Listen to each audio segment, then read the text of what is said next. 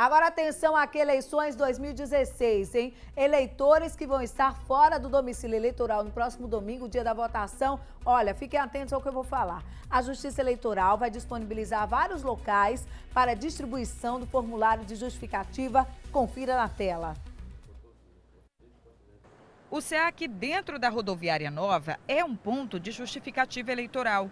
O Tribunal Regional Eleitoral disponibilizou esses locais para facilitar o acesso ao eleitor que estiver fora do seu domicílio eleitoral.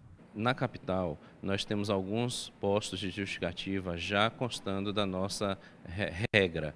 Quais são esses postos? É, um é instalado é, na Orla, na Delegacia de Turismo, outro é na rodoviária, é um posto obrigatório e também no aeroporto. Esses três postos estão disponíveis para a justificativa do eleitor. Entretanto, é bom frisar que em todos os locais de votação as sessões estão preparadas para receber a justificativa. O coordenador das eleições esclarece que o eleitor deve preencher o formulário de justificativa antes e ainda apresentar os documentos necessários.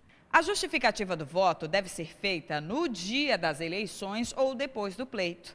Se a justificativa for feita no dia da votação, os colégios que funcionam como zonas eleitorais também podem receber as justificativas, o que aumenta a disponibilidade para o eleitor. E no interior do estado, em todos os municípios sergipanos, os fóruns e sessões eleitorais também são pontos de justificativa. No dia do pleito, a justificativa é feita por se encontrar o eleitor fora do seu domicílio, ou seja, fora do município onde ele vota. Vamos a um exemplo claro. Eu sou eleitor de Aracaju e estou em Itabaiana no dia do voto, no dia do, da eleição. Então, em Itabaiana, eu posso ir a qualquer sessão eleitoral ou ao posto de justificativa e fazer a justificativa. A Justiça Eleitoral reforça que é importante o eleitor se informar sobre a zona eleitoral dele no site do TRE.